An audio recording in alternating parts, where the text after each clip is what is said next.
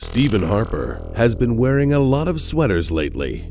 What he doesn't want you to see is a prime minister who's in sync with his Republican friends on the economy, the environment, war.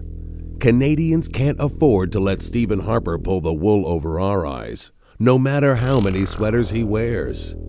Take a stand at voteanyoneButHarper.ca.